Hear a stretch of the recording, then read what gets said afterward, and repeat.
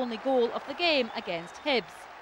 The well-taken goal for some a highlight, but Ivan Sproule and Paul Telfer provided the game's low point. And as the Hibs man let his temper get the better of him, he was lucky only to see yellow. In the second half, Hibs did create chances, and but for Artur Boruc, they might have got a point. The Hibernian, although Stiliyan Petrov cabbed nerves with this early goal. That may have been the one and only goal, but it wasn't the end of the action. Paul Telfer and Ivan Sproule perhaps fortunate to escape with just yellow cards for this set too.